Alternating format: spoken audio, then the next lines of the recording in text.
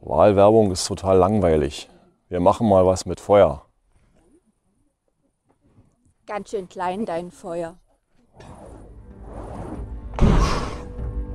Besser?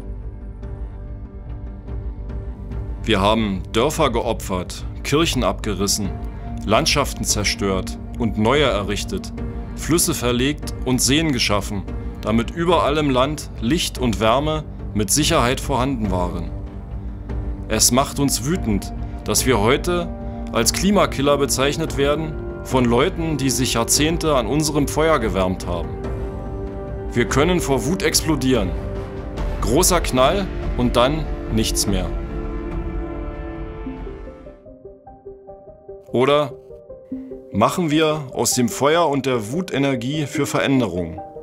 Bauen wir eine Lausitz, die uns nach dem Bergbau ernähren kann, die Anschluss an den Rest der Welt hat, aus der unsere Kinder nicht wegziehen müssen.